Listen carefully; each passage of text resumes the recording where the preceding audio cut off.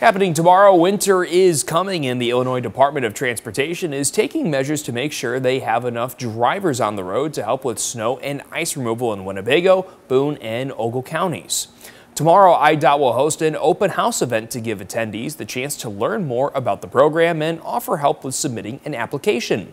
IDOT says those who are interested should be prepared to work in emergency conditions at any time. Those includes nights, weekends, and holidays. Starting salary is about 4,800 bucks a month.